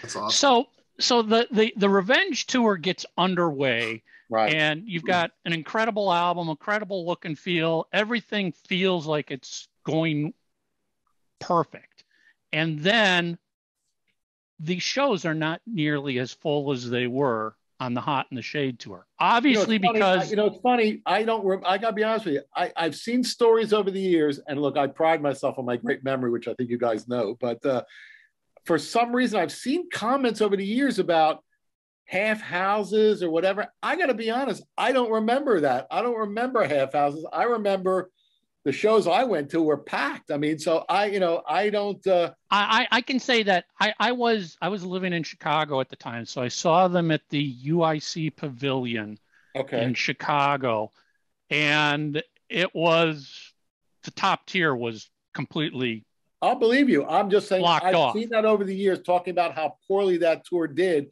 I don't remember. I really don't remember. To me, I So- thought was was I guess where I was going with this was there any discussions going on with Gene and Paul of like, hey, you know, uh, ticket sales aren't as strong as they were on the Hot in the Shade tour. We've got grunge that's kicking our ass right now. Um, you know, was there some some worries? Were there any worries that I were being brought up during the tour? I mean, to as to make an analogy, going back again in time, the the Cinderella Heartbreak Station tour, we spent a million dollars building this ginormous stage. I mean, just ginormous. It took seven trucks, whatever, and uh, we literally went out on the road. I had Nelson and Warrant, uh, Nelson Lynch Mob as the support acts on that, because at that point all those bands were dead. So I just chose my client who had a platinum record, and George Lynch, who I felt still looked was looked upon as a guitar hero. And I'll never forget, we went to Madison. The show bombed. It was the first day of the tour. It bombed, and literally that night we sent home the stage and all the trucks and just basically used promote arena stage at that point and swallowed a million dollar stage because it just was obvious that grunge was there and uh, the ticket counts were like whereas long cold winter was playing to arenas sold out we were doing not even half houses and we had to eat it so jump forward uh, there was no discussion about cutting the show cutting anything i just think uh, we just excuse me we just plowed through i really don't I don't really don't remember any uh, any discussion of cutting things back. And like I said, I don't remember any bomb shows. I mean, again, maybe I'm in amnesia or something, but I don't remember any because the shows I went to, I remember the the weekend we shot the Kiss Alive three. We recorded Kiss Live three and shot the home video, which became Kiss Confidential. Uh, that was Detroit, Cleveland, and Indianapolis. forget what the oh Indianapolis, and those were all packed. So I mean, again, and the show in Philly, at the Spectrum, I think was packed. So I really don't remember bomb I, shows. I but, knew the show. but there's The been a lot of out there's west. been a lot of stories about it. So I guess I'm wrong. So the shows out west were the ones that really maybe were. I didn't go to any of those. I didn't go to. Well, I was those. gonna say I was at the Detroit. I'm from, from Detroit. I was at the Detroit show. That was uh and it was you know, crowded, that- right? oh hell yeah, Palace Yeah. was packed. It was great. That was just a fun night all the way around. was, that whole weekend was great. We had a great. That was a great week. Eddie Kramer came out. Mark Rezyka filmed it. It was that was a fun weekend. That was really a fun, fun weekend. But and the Palace uh, Palace was nice for that sort of thing. yeah. So again, I don't. uh I really don't remember, but you guys know more than me when it comes to that topic. I don't remember. I mean, I mean, the, the tour ended up showed a decent profit, so I don't, I don't remember, you know, anything that didn't do well. But nobody, no, we didn't give money back to any promoters, so I don't think anybody got killed. So I don't know. But you, you, again, I've read stories over the years, so obviously I have amnesia about some of it. So How about the the selection of the support acts on that tour? I remember, you know, thinking, okay, you got Trickster. I saw Trickster and Faster Pussycat, I think. yeah, And I was like, okay, I like these bands, but in 92, who was I going to I'm like- from? Who was I going to You know? Well, and my question would have been: Was there any attempt or thoughts of what could we get this new band Pantera to open? They Anything along a heavier No. band? none of those bands were interested. None of them. Was it because of what Kiss represented? They didn't want to be know. Associated? know Because that- I mean, as just we know all those I bands. remember our agent Mike Perini just said, "We do. This is our selection. This is it." So that was it. because all those bands, even going back to grunge and Nirvana, nowadays in hindsight, they're all coming out. Oh God, I grew up, I was a huge Kiss fan. You know, we loved Kiss. You know, Nirvana covered a Kiss tune. Well, we all know if how much I mean- Pantera I were Kiss fans. uh, again, jumping ahead a cycle, which is where I ended my career with Kiss, and I've told this story many times, and I might even have told you guys the last time, is that, you know, the whole kiss my ass thing came out of me being in a record store and seeing a uh, an album called Hard to Believe, which was all the Seattle bands covering Kiss tunes. That I showed Gene, and then of course the eyes started spinning, the brain started spinning, the pocketbook started spinning, and that led to what ended up being my end of the band, my relation with the band. But uh, um, yeah, I mean, all, those bands named Kiss as their you know favorite band, but again, it just, if I remember correctly, it wasn't an option. So it was what it was, and it was horrible. Both those bands stink, and you know, so you know, I I was not thrilled about it. And maybe that's also what added to my non in overall enjoyment of that tour versus the Hot in the Shade tour was that the support bands were terrible. Yeah, I, I felt like Hot in the Shade, you had a perfect trio of bands. Yeah, And, you know, I think I went to two or three of those shows, and I over those I saw Slaughter, Winger, and Little Caesar. And I'm like, it's all perfect matches. Um, Well, I will tell time- I will, I'll tell you a funny story. I'll tell you, uh, uh, and we got to get moving because I got to get out here soon. But uh, so I had heard because I had Nelson at Geffen Records. I had heard this the Little Caesar record, and it's funny because they're on this cruise next week, and I haven't seen Ron Young, the singer, since then. And I'm looking Ron- forward to seeing him too no, Ron's a great guy. incredible singer. And I'm looking forward to seeing him to sort of recant some of what I'm about to tell you because I don't know if he even knows. So I'll never forget this. So I, and listen, Gene and Paul let me put on who I want to put on. I, I chose the support acts on both tours and they let me, again, have carte blanche. I mean, that's one thing I've said in every interview. Those guys never said no to what, other than the unholy thing or the domino thing. But as far as opening acts, set list suggestions, whatever, never said no to me, which is why I say it's the most fun I ever had managing band in 50 years of management is Kiss. But so they let me have carte blanche. So I heard the Little Caesar record. It blew me away. I thought this guy's voice was incredible. They had a hit with Chain of Fools. It's, it was great.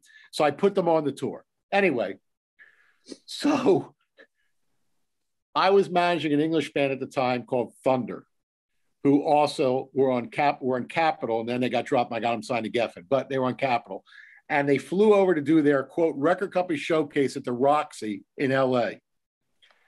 And uh, so the band's on stage playing.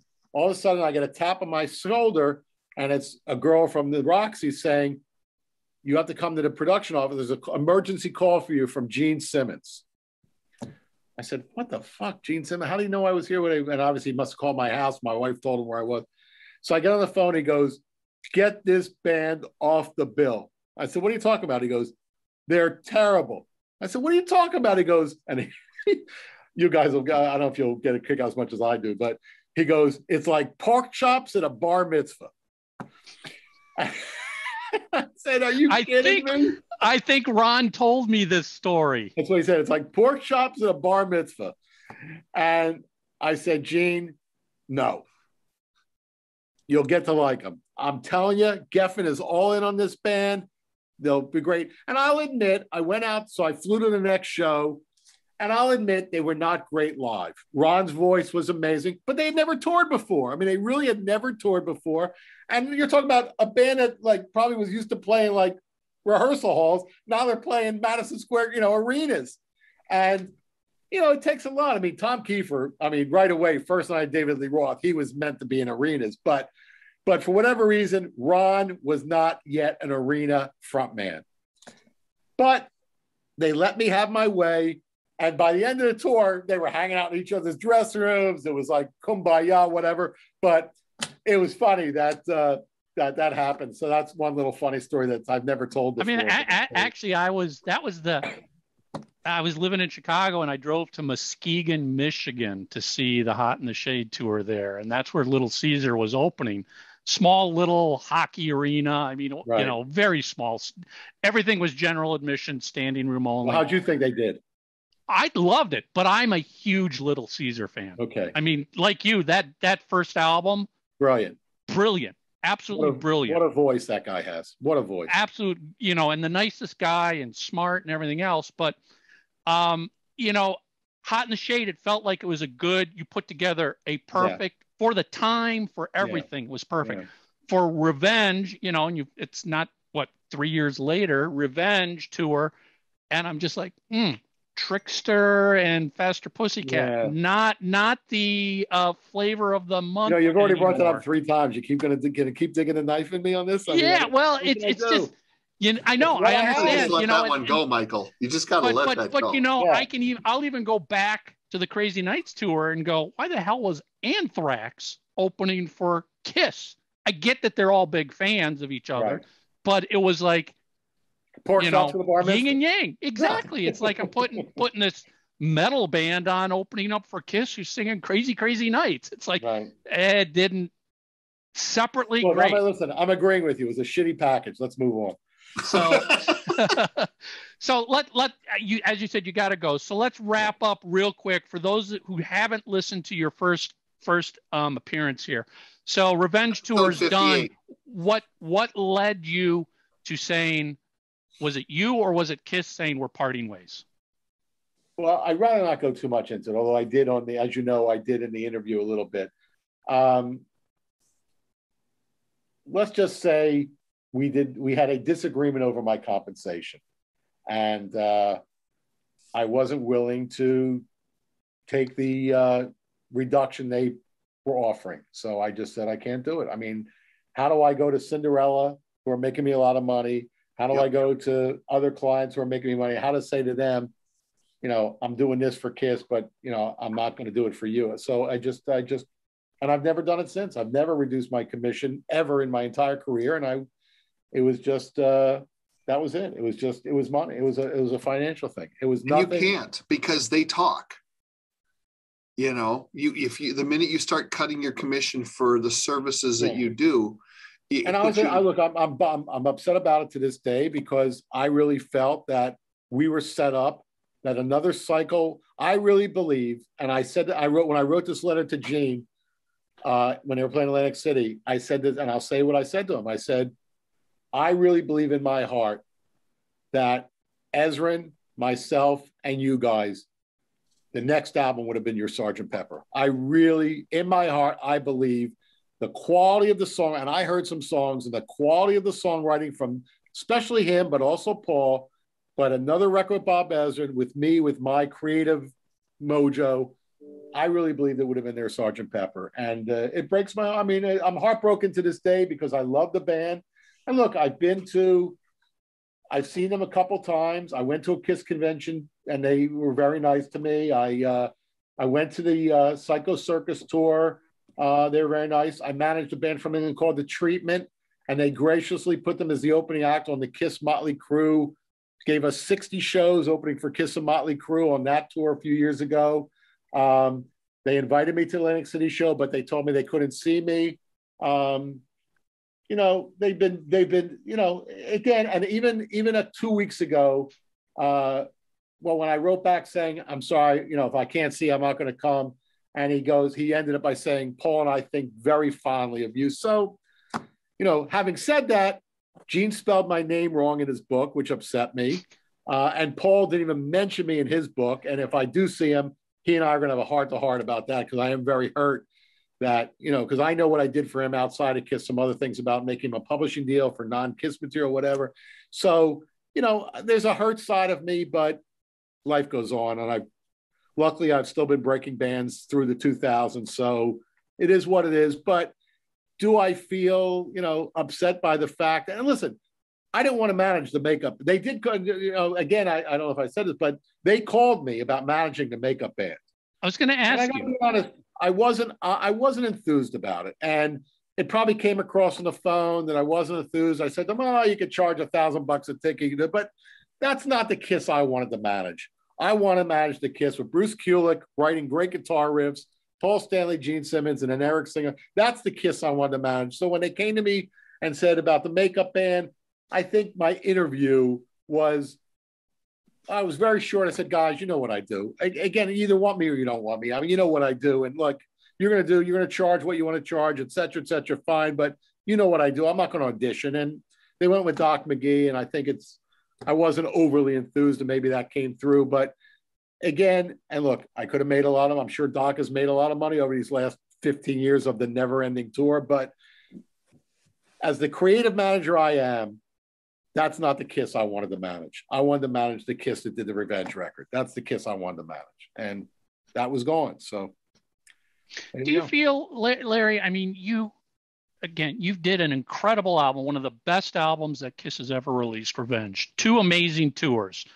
Do you feel like you're overshadowed by and their the first top, and let's not forget their first top 10 single in 15 years. Well, yes, yes. I mean, you accomplished a lot with them.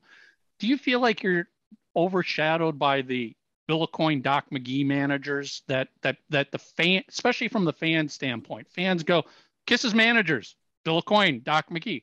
Hold, hold on, what about Larry Mazer? He was incredible. He was very important to them. Well, that... thankfully, thankfully, Bruce Kulick gives me when he does interviews, he gives me tons of credit. Um, Bill Aucoin, no. Bill Aucoin created this. Bill Aucoin deserves every ounce of credibility he gets. I I personally would. I mean, I was not. I mean, Bill Aucoin invested his own money in the band. He did. I mean, he put on his credit cards to the, the first couple tours. Bill Aucoin deserves every ounce of credibility and thanks he gets for creating what became Kiss. So I stand in the shadow Bill of Coin. Doc, different story. I mean, I like Doc. We've known each other a long time. Cinderella supported Bon Jovi on the Slippery Wet tour. You know, again, I went to him about and Paul about treatment being on the tour. He gave it to me.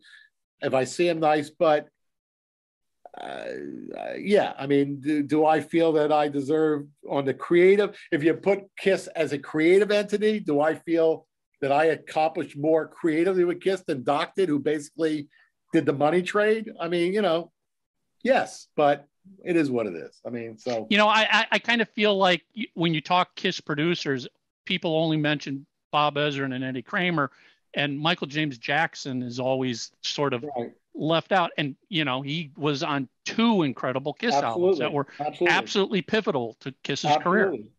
So I look, my ego's not that big. I mean, look, the fact that Derek Oliver called me and said, "Hey, we've never done this before." But we are all fans of your career at Rock Candy. We want to do a seven page feature on you in the new issue of Rock Candy, which ironically is the Kiss cover issue, is kind of funny. Um, that's that to me you know, I was able to show my kids who have been part of my career, obviously my whole life, and uh, but to be able to show them in writing what people think of me as a manager, that that made my day when they when the article came yesterday to show them what I've done. But uh, listen, I live I live in in South Jersey. I've never been tempted to move to LA or New York. I've broken a lot of bands. I have a lot of great memories. I'm proud of what I've done, and you know, Nobody can take away the 30 million plaque that's in my living room of Kiss that only five in the world, me, well, six, me, Mercury Records, and the four guys in the band, and they'll never take that away. I mean, and, uh, you know, so, you know, I'm proud of what I've accomplished. I'm proud of what I've done for every client I've done. I think even the ones that weren't successful, I think they had an impact from what I brought to the table. And, uh, you know, so you, no regrets, you, but you know, but again, but again, out of out of everyone, they were the most fun to manage, and I do miss it. I mean, I literally laughed every single day for five years until the end. I mean, laughed. They were. We would have meetings with me and the two of them that literally I'd be on the floor laughing just watching the two of them. I mean, it's just I can't describe it, but it's it's it's the greatest comedy show of all time. If you sit with the two of them and have a meeting, it's just hilarious how they interact with each other in meetings. I mean, it's just. It's I've, I've I've been fortunate to see that a couple times, and it's, you're right. It's, it's, it's, I loved it. It's magical. I miss, I miss, it. I loved I love because again, as a manager, especially a creative manager, my biggest frustration today, and again, this is a, well, I'll gladly do another show with you about the music business, but Yeah, we'd love you know, it- it- you know, my biggest frustration today is people have forgotten that this business was built on a star frontman, a guitar hero, and a great live show. And I loved every meeting with them. I loved the meetings with Cinderella for the Long Cold Winter record. I love some of the other, even Lamb of God. We've done, we did some great shows with Lamb of God. But I mean, it kills me when I go to concerts now and it's just, who cares? I mean, it's just, There's no rock stars look- anymore. Four guys looking at their shoes. Who cares? I mean, a couple bands. I mean, Godsmack have tried to put together a good live show with their dueling drummer thing that they do. And I went to see Shinedown last year, and they put together a decent show with Pyro. But I mean, I'll never forget when I went to see Nickelback the first time when they broke and they did their first big tour, and they're playing a ballad. All of a sudden, bombs are going off, and it's like I'm sitting there going, "This is obviously a band who said to themselves, if we ever became famous." We're gonna put on the greatest Kiss show there ever was, but it's like they're playing ballads. All of a sudden, pyro's going off. And I'm sitting there going, "What?" I mean, it's just pyro for pyro's sake, you know. And it's like, and it cracks me up. Even Shinedown, it was like every song had flames. I this and that. Yep. You know, again, I love. I'll give you, and uh, you guys will probably say yes to this also. One of the, the highlights for me in the Hot in the Shade tour was "I Was Made for Loving You," because a, it's a song that I said you guys have got to start playing again. If you remember, there was a part in the song where the disco breakdown happens, Mhm. where we had these jets that went off, these sparklers that went off during that drum beats right down the whole length of the stage and a big explosion at the end. And that to me was like one of the high I looked forward to that every night was I was made for loving you and how we had these synchronized lights in that show. And again, that's what I miss about the music business today is that sitting down and just coming up with like what can we do that's like spectacular, you know? And it's like that's gone. It's there with the pop acts. A lot of pop acts are doing it, but in the rock world, it's pretty much gone, and that's sad. But you know, Well, Larry, I know you. I know you've got to. Uh, you've got to run. This is fascinating. Um, always love talking to you. And Yes. yes, we've got to have you come back and just do a talk on the the music Anytime. business itself. yeah. Um, and you know, as a Kiss fan, thank you for Revenge. Thank you. I mean, Well, I mean yeah, that, I- that album, unfortunately, I mean, tour. I take I take what you're saying in spirit. I didn't write the song, so you know, thank them for revenge. Thank me for the one thing I will say. I'm 100. percent I will take credit for is getting Gene Simmons back in Kiss, and that I That- will. that's That was everything, Thank though. you. That was everything. That was so important as a Kiss fan to sit here and go, our demon is back. The Yeah. band looks amazing. The black Everything's leather. in perfection. It- you know, I think we we mentioned this on the roundtable for Rock Candy.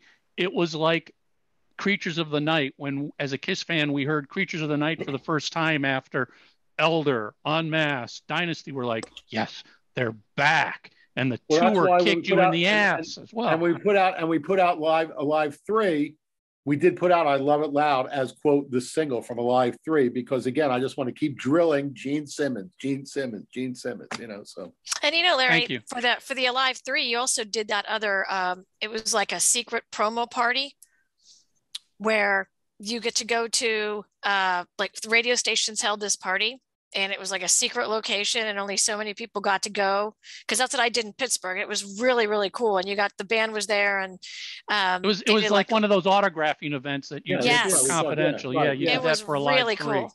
yeah Yep. yeah. Yep. Yep. and again without a sec without a without a second of pushback. And listen i've had baby bands that have pushed back on doing stuff that i thought was important for their career and they've pushed back when they've sold no records. And here's kiss who literally guys i want to do a club tour. No problem. Guys i want to do autograph sessions. No problem. I mean it was like literally in five years other than the the domino thing which again i understand the mentality of it but as far as creative things that i brought to the band never did they say no in five years never once Well, you know, and the thing that was really cool about that autograph session was that it wasn't just like, okay, you show up here and it's an autograph session. It was like, you know, you'll be notified of the secret location the day of the the Where day of the it? I don't, signing. remember. Where are we doing in Pittsburgh? Uh, the graffiti. Okay. It was this little club, you know, in the city, but it was like you no one knew where it was going to be, and you were going to get a call that day to tell you where you had to be at a certain time. I mean, it was like so mysterious, you know. So it wasn't just a signing. It was Right. this whole like, it was this whole thing about it that made it so mysterious. Was, and- wasn't wasn't there also? I think at least in Chicago, if you bought Kiss Alive three, you got a laminate, uh, not a laminate, but a stick-on pass that got you admitted to the to one of those secret autographing- parties. I yeah. don't remember. Yeah, I but don't some of them didn't have it in there though. I don't remember. Some of them didn't have it because I bought the Alive 3 and I didn't get a patch, but I was I worked at the radio station there.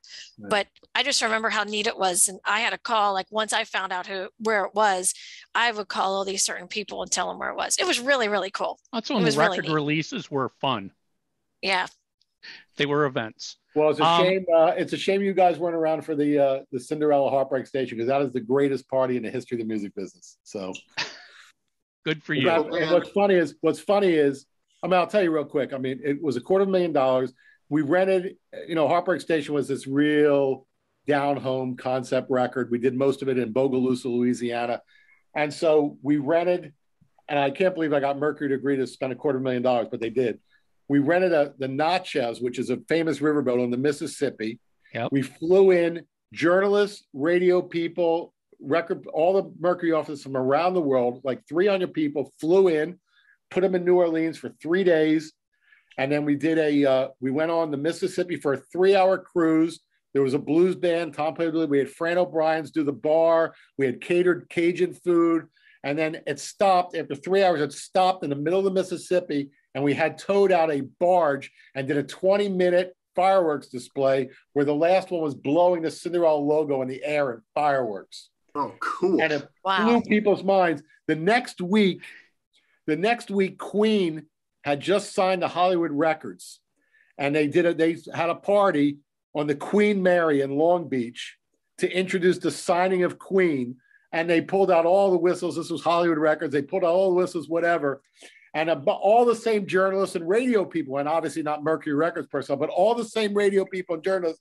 And I got a call Monday morning from the president of Hollywood Records going, You killed us. I said, What are you talking about? He goes, Every person on our cruise came up and said, This was great, but not as good as that Cinderella party last week. Good for you. Good So- for you. nice. Those days Good are for you, gone. To get a label to spend $25 launching a record nowadays is a miracle, let alone a quarter of a million dollars. But Yep, yep, yep, yep. So- That's a, as you said, that's a whole nother discussion which Yeah. we will have. okay. Larry, thank you Thank so you. much. This Thank was Larry. an amazing discussion. Thank you for your time. no problem. Billy guys. Rose said to Talk say soon. hi. Yes, All right, thank you. thanks. All right, guys. See you soon. Take care. Bye.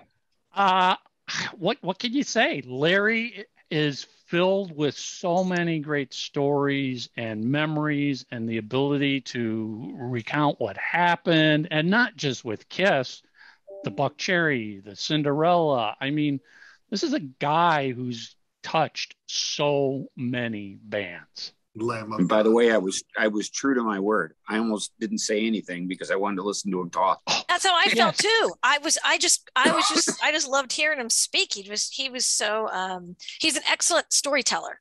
Yes. You know? I thought Mark was feeling sick because he wasn't saying anything. Oh, I'm sure some some some of our listeners are gonna go, "Oh, Mark, you so rude of you. You weren't didn't say interested." a word. You weren't interested at all." Just the opposite. I didn't want to miss anything. No, those the, I love I love hearing like from the management side, like the music business side, because that's such my my passion. I love hearing that. I was so like, ooh, Yeah, I was giddy. mean, I mean, Larry managed the band. Larry was there, as he said, he was there during the the Eric Carr when Eric Carr was was passing. He was there. He dealt with it. He was in the meetings. He was there when he took over Hot in the Shade after the album was done. I mean, you know, he he got the phone call from Gene saying, "Nope, got to give Paul the second single." I, I tell you, one of his one of his accomplishments doesn't go. I guess should be noticed more. Now, let's be honest here. I mean, in the middle of the grunge era, he was able to get two gold albums out of them. Mm, that's what I was gonna say too. I mean, he was he was managing Kiss it like like a That that can that cannot be easy. I mean, Mhm. like you said though, too, one of the you know, kudos to Gene and Paul. A lot of bands, I, well, I don't know a lot of. I don't know if that's a true statement, but let's let's just say there if there would have been some acts, I think '70s acts that wouldn't have done the legwork. Gene and Paul did the the club tour. Gene and Paul did the, the the signings, which I know are very taxing on them. But and you know, like you said, he, he did the, the, he convinced the band to do those without a you know without any pushback. You know, um, that was pretty huge. You know, um, for them to do. I mean, especially ego wise and and uh, for as much as I, I know this may hurt the psyche of Gene and Paul and maybe even some other Kiss fans, you you don't think it bothered them to see how MTV was all over Aerosmith?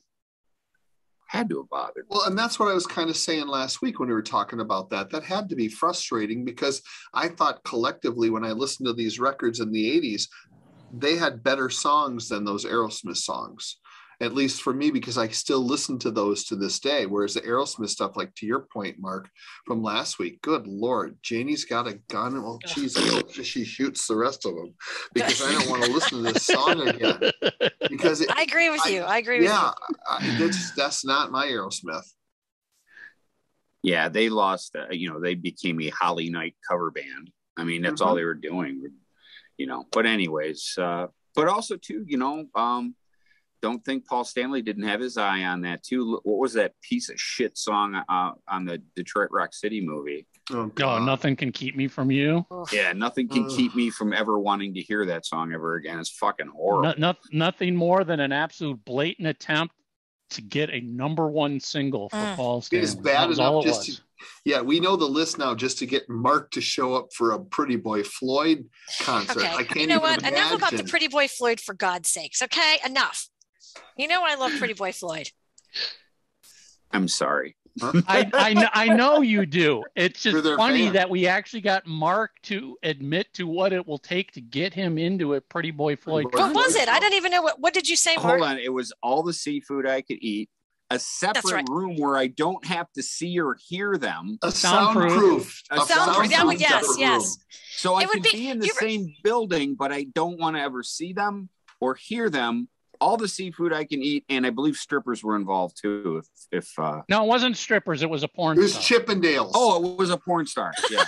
um, so yeah. So you give me So all those anyway, things. we we know one of one of the one of the guys in Pretty Boy Floyd listens to Three Sides. So listen, you want Mark Cicchini at a show, seafood buffet, a porn star, and put him in the back room and close the door. But you can say Mark Cicchini was at your concert.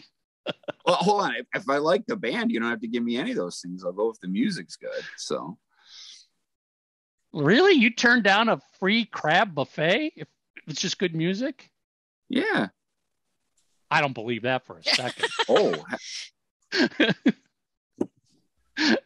um, all right. So, so I, I, I hope you guys all agree. We've got to get Larry to come back and do a non-kiss Yes. show. I didn't ask him about talking Union. about the industry. I didn't even ask him about Union. you know what? I didn't want to sidetrack even more, Lisa, because I, I already sidetracked enough with Buckcherry.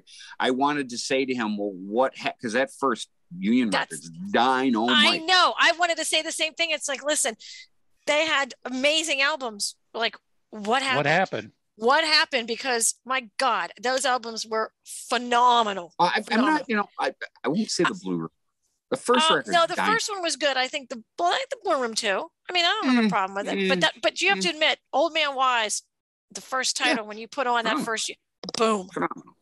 That But anyway, I just I wanted to know. I would have loved to know what his thoughts were on that. You know, and and what was what why? I mean, the, the my question is why. Just Oh, and I, I want to be clear too. I don't dislike the Blue Room. I just don't think it's as good as no the one first. no one said you no one said you disliked it, Mark. I'm just making sure.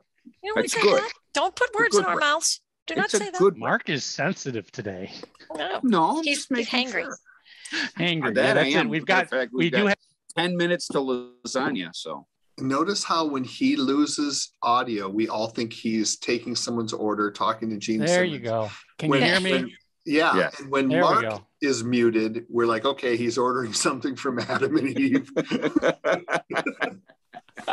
all right, all right. So, um, yes, we're gonna have Larry back, and we're gonna talk just about the music business. Homework questions. uh, You know, revenge. I don't know what what kind of question we could ask. There's nothing bad about it. I mean, we got Gene Simmons back. It was a great tour, great set list. The album What rock. did you learn? What did you learn from Larry? you that learn didn't anything? know? Yeah, I think I'm with him. I think if Domino was the second single, it would have done even better. Mhm. People to this day still love that song. Oh yeah. When you're, I tell you what, when we were on the Kiss cruise, that that one's always requested. I don't want to, not so much. And don't get me wrong, I think it's a good song too. It's a good song, but not it doesn't have It's- that good punch to it like Domino does. Correct. And, and- and I tell you what, even even I remember back back in the day, Liz really liked that song Domino. I mean, it's just a cool song. You know what I mean? I think I was never a big unholy person though. I think it grew on me because when you Oh, first no, hear it, perfect. I know, but when I'm used to like Kiss like that, when I first heard it, I was like, whoa, whoa, wait, what? It was very dark. You know what I mean? I mean, I guess it was appropriate for the time, but it kind of like it was like right in my face, like, oh, I, this is since this was pre-internet. My phone, I think I was on the phone till five in the morning talking to people all over the US when that debuted because we all were like, this is Kiss again. It's heavy, it's dark, it's this. Matter of fact, I remember very, I remember verbatim. I remember one of the first things I said after I heard Unholy is, this could be a makeup song, meaning that song would have fit Mhm. great on Creatures mhm. and which it's funny because you know they did end up doing it on the uh, Rock the Nation tour. Um, so that's what I mean. It, it really did echo back to Gene. I mean, Gene was back on uh, on that, and everything about the video was just cool, and the song it sounded so good. And you know, I never really thought about him, how he was saying about, you know, the the whole the whole premise was Gene being back. You know, now that I take a step back and look at that, yeah, that's it's one hundred percent. I guess I never realized it, but he, I mean, wow, that was really cool. I mean that that to, to some extent that's why everything about Revenge was so great because we got Gene back Got Gene and back. not just back, but fully committed and entrenched in doing what he needs to do. It wasn't just appearing; it was Gene Simmons writing great songs, not like the crap he wrote during I'm going to tell you too, his bass tone was back. He was doing slides. He, in a word, Yep. he gave his shit. He gave a shit all of a sudden, and that Yeah. I think to some extent, Lisa, what you were saying about how unholy kind of was kind of a bit of a surprise. That's why. I mean, remember, we're coming off of Hot in the Shade, which was a blah, coming off of Crazy Nights, which was all party and have a good time. And all of a sudden, you're hit with this surprise of Gene Simmons and Unholy is the first single and a dark, heavy video. And you're like, yeah, that video was I mean, incredible. when it he goes wasn't- like not that it this. was I mean, bad. it was I awesome. as Kiss fans, we weren't expecting that. No. No, that's what I mean. It wasn't like it was bad. It was just It, Wait, it, what? It, it's Hold on. like And that's what I wanted.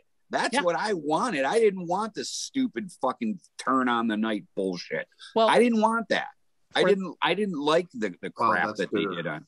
For what's for, that? for you know That's bitter. for for for those of you who were fans when Revenge came out and remember that feeling, that's exactly the same feeling we had when Creatures of the Night hit. Yes. Exactly. We weren't expecting Creatures of the Night. Not at all. We were like, okay, Dynasty, Unmasked, Elder, where the hell are we going here? Kenny G, is that when you drop the needle on creatures, it was just like, what the fuck? They're back. I felt like the kid in Animal House. Thank you, God. Yeah. And and Revenge was the same way. Musically, the album was like they're back, but when that that video hit for Unholy, you're like, wow, this this is Kiss. Where have you been? Where have you been for 10 years? Yep. So, homework, just talk about revenge. What did you learn? Uh, what do you want us to ask Larry next time he comes back? Um, you know, you know, and thank you, Larry, for for talking about Eric Carr. I mean, I think that was, you know, we didn't we didn't plan that. That was Larry bringing that up on his own. I'm glad he did. Um, he was there. That's why we don't talk about it. We weren't there. Uh, okay, so you know where to go to leave your homework. Anywhere you find us online, leave a comment. And uh, if you're uh, watching or listening on YouTube, please subscribe. Follow us on Spotify, subscribe on iTunes. And uh, we appreciate everything, all the comments, all the following, everything, everybody who hits that play button. It means a lot to us. Um, that's it. We'll see everybody next week.